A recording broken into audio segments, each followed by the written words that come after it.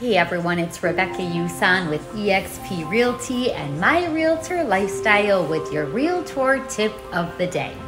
So, when you're getting started in real estate, you're going to realize very quickly that there's a lot of things that you have to do that you hate doing or that you're just horrible at doing. And that's okay, it's totally fine. This is where you're going to learn how to scale your business you're going to find a running buddy who loves doing all of those things that you hate doing, and you're going to do the same for them. Or if you actually have a little bit of money, you're going to find someone that you can pay to do the things that you hate doing. I promise you, if you can figure that out early on, your business will grow super fast and you're going to be so happy. I'm Rebecca Yusan, and I will see you at the top.